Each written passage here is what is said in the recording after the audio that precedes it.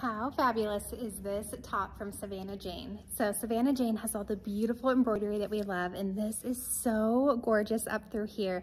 This line will hit here above the chest and then just pleat out and it has the most fabulous print. I am loving this one.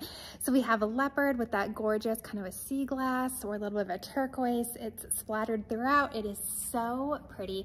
So this is blouse-like. There is no stretch to it. However, I am wearing my typical true to size, which is a small and I still have good room. So I think true to size is great. If you typically have to size up if it doesn't have stretch due to being chest heavy, then you'll want to do that on this as well. But otherwise your true to size is going to be just fine. But here, hopefully you're able to see that embroidery. So beautiful. I'm loving everything about this. So comfortable.